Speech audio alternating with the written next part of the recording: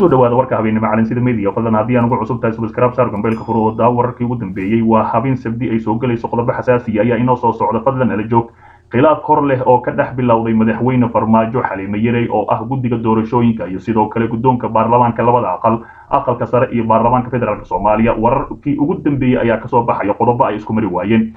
gudoomiyaha guddiga madaxa bannaan ee doorashooyinka qaranka marwo xaliime ismaaciil xaliime yere ayaa labaatan iyo toddobada bishan ay ku jirnay ee may ee laba kun iyo labaatanka hortegi doonta baarlamaanka federaalk soomaaliya si ay ugu sheegto qabashada iyo qaabka fulinta doorashada laba kun iyo labaatanka laba kun iyo kow iyo labaatanka ama in waqti dheeraad ahi loo baahan yahay kordhin muddo xileedka baarlamaanka federaalk soomaaliya iyo madaxweynaha kursigiisa. Ilo wareegyo ka tirsan villa soomaaliya oo heshay calansida media ayaa waxa ay sheegayaan in madaxweyne farmaajo uu sheegay wakiilada beesha caalamka inuu saxiixay sharciga doorashada hal qof iyo hal cod ah laba kun iyo kow iyo labaatanka guddiga kumeel gaarka ah uu mas'uul ka yahay fulinta sharciga haddii bedel ama ku noqosho loo baahan yahayna in baarlamaanka federaalk soomaaliya ku shaqo leeyahay sidaa daraaddeedna aysan jirin. Sabab uu madaxweyne ahaan arrimaha doorashada ugu hadlo beesha caalamka dowlad goboleedyada mucaaradka iyo cid kale ayaa warbixinta lagu yidhi dhinaca kale waxaa la og yahay in sharciga doorashada ee baarlamaanka federaalka ansixiyey madaxweyne farmaajona saxiixay uu yahay sharci laalan kala dhiman ah kadibna guddoonka labada aqal ee baarlamaanka federaalka uu magacaabay guddi ka soo shaqeeya qodobo hortaagan dhaqangelinta sharcigaasi islamarkaasina ilaa iminka qodobo halkaasi aad loogu muransan yahay. Haddaba sida calansida media ay ogaatay waxaa guddiga labada aqal ee baarlamaanka ee loo xil saaray ka talo bixinaya afar qodob oo muhiim ah oo doorashada dhowaan la filayo ayay soo bandhigeen warbixin hordhac ah oo maalinta shalay aheyd ay soo bandhigeen. Haddaba qodobadaasi ayaa waxaa ka mid ahaa maqaamka muqdisho in sida dastuurka ku qoran loo daayo labo xubnaha labada aqal ee baarlamaanka somalilan in laga soo doorto toban iyo toddobada degmo ee gobolka banaadir. Saddex qoondada dumarka in tirada dumarka ahi ee labada aqal sida ay haada tahay loo daayo islamarkaasina aan waxba loo kordhin. Afar kursi kasta oo baarlamaanka waxaa lagu qoray degmo ka mid ahi siddeed iyo tobankii gobol ee laga soo doortay ayaa warbixinta lagu yidhi labada guddoomiye ee labada aqal ee baarlamaanka federaalk soomaaliya waa aqalka sare iyo shacabka mudane maxamed mursal iyo mudane cabdi xaanshi waxa ay ku biyo diideen warbixin iyagoo u arkay inay tahay wax ay madaxtooyada soo dhodhoobtay halkaasi oo la isku dhaafsaday hadallo kulul oo aan munaasib ahayn. Waxaa kaloo baarlamaanka federaalk soomaaliya uusan ansixin sharcigii xisbiyada oo xisbiyada magac u looga dhigi lahaa xisbiye rasmi ah waxaa kaloo dhiman xeerar diiwaangelinta xoreynta dhul ballaaran ee gogol xaar u ahaa fulinta sharciga doorashada doorashada qof iyo cod ahi. Arrimahaasi iyo kuwo kale oo ay ugu daran tahay khilaafka ka dhex aloosan dowladda federaalk iyo dowlad goboleedyada waxay abuureen shaki laga qabo in dowladda federaalka aysan rabin in doorasho xalaal ahi ay ka dhacdo dalka. Maadaama guddiga kumeel gaarka qaran aan loo gudbin sharciga dhammaystiran iyo maaliyad ka hor muddo ku filan qabanqaabada doorashada xalaal ah wakhtigeeda ka hor ma garanayo sababta guddoomiyaha ama xubnaha guddiga kumeel gaarka ay u hortagayaan baarlamaanka federaalka taasoo ka baxsan waajibaadkoodii shaqo. Guddiga baarlamaanka federaalka ayaa laga rabaa inay gutaan waajibaadkiisa tifaftirka sharciga marka kadibna dowlad goboleedyada xisbiyada siyaasadda bulshada rayidka ahi aqoon-yahanada warbaahinta ayaa laga rabaa inay ka falceliyaan ka hadlaan dhaqangelinta sharciga dhammaystirka guddiga gumeelgaarka qaran ee uu soo bandhigay dadweynaha soomaaliyeed habka dhaqangelinta sharciga iyada oo aan loo baahnayn inuu hortago baarlamaanka federaalk soomaaliya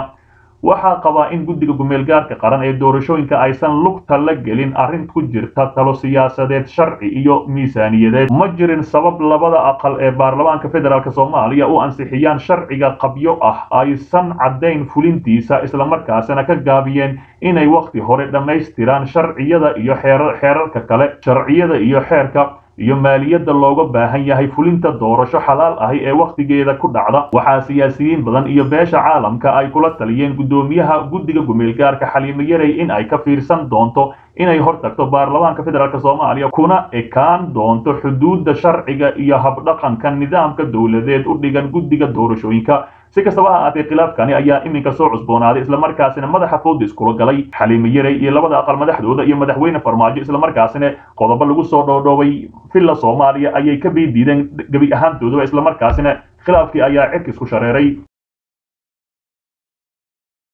saddex siyaasi oo wadaaga hal aragti oo ku wajahan dacwadda badda ee soomaaliya iyo kenya islamarkaasina wararkii ugu dambeeyo xasaasiya laga qoray. Saddexdii sano iyo barkii uu wadanka ka ahaa ra'iisul wasaare dalka soomaaliya mudane xasan cali khayre marnaba kama hadlin dacwadda badda ee u dhexaysa soomaaliya iyo kenya waxa uuna qaatay tallaabo kasta oo uga baxsan karo inuu arrintaasi si toosa uga hadlo ama uu la qaybsado ama uu la qaybsado dareenkiisa shacabka soomaaliyeed islamarkaasina ugu faahfaahiyo waxa uu ka qabo arrinta dacwadda. Laakiin marnaba sooma hadal qaadin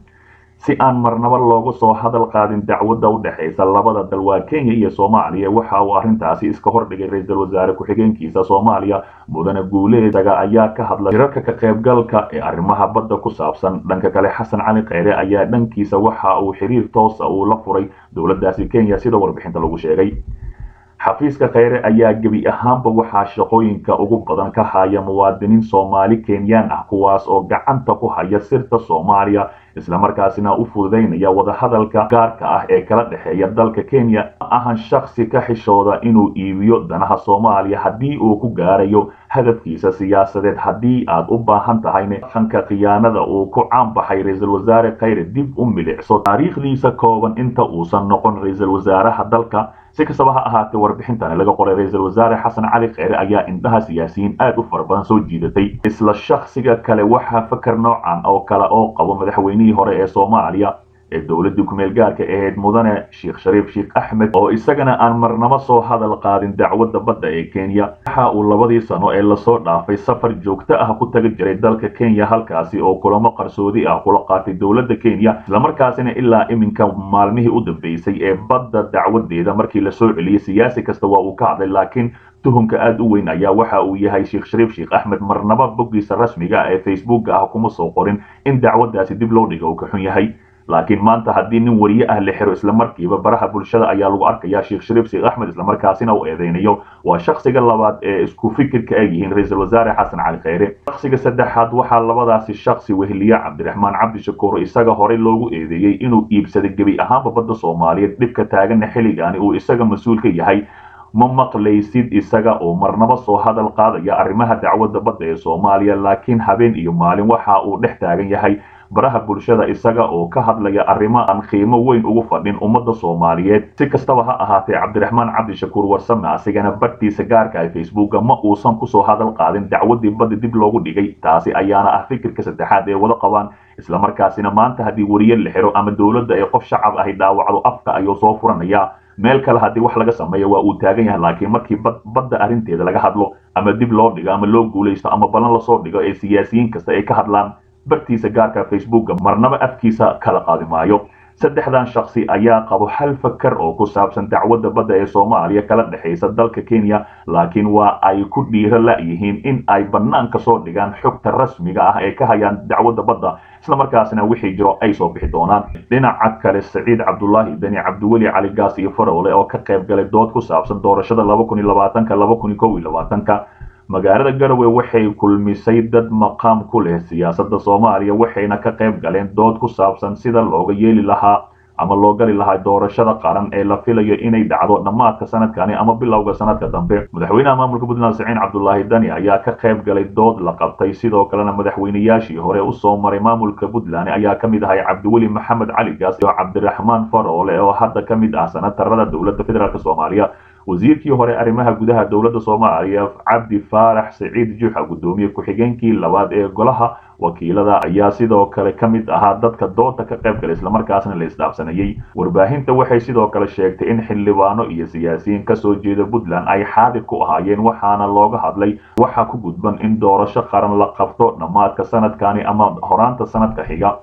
waxaa la og yahay in loo baahan yahay dhismaha xildhibaano senataro guddoonkooda iyo labada mas'uul ee ugu sarraysa ee dalka waxayna arrintaasi imaanaysaa xilli xidhiir dowladda dhexe iyo puntland uusan cago badan ku taagnaynin tan iyo markii la magacaabay saciid cabdulaahi dani. Sida ku cad hanaanka la marayo dowlad goboleedyada waxay xaq u leeyihiin inay soo magacaabaan senatarada ay ku leeyihiin aqalka sare. Sidoo kalena xildhibaano walba waxa uu u baahan doonaa inuu aado deegaanka doorashadiisa islamarkaasina gobol kastoo laga soo doortay uu aadaa. Guddiga madaxa bannaan ee doorashooyinka weli waxay aaminsan yihiin in la hirgelin karo doorasho qof iyo cod ahay balse waxaa loo qabtay muddo isbuuc ahay inay guddoonka baarlamaanka hortooda kaga caddeeyaan nooca doorasho oo uu dalka galayo. Dhammaadka bisha ayaa laga sugayaa guddiga inay sheegaan hanaanka la marayo iyadoo waxyaabo badan isha lagu haayo. Inkastoo guddiga ay aaminsan yihiin inay doorasho qof iyo cod ahay dhici karto haddana xaalado badan oo ay ka mid yihiin amniga dhaqaalaha iyo xanuunka safmareenka ee caabuqa sagaal iyo toban ayaa la dareensan yahay inay ku horgudban yihiin arrinta doorashooyinka. Si kastaba ha ahaatee doodaasi xali puntland ka dhacday ayaa aad loogu lafa guray islamarkaasina waxaa laga warsugayaa dowladda dhawaaqeeda u dambeeyo ama guddiga doorashooyinka qaran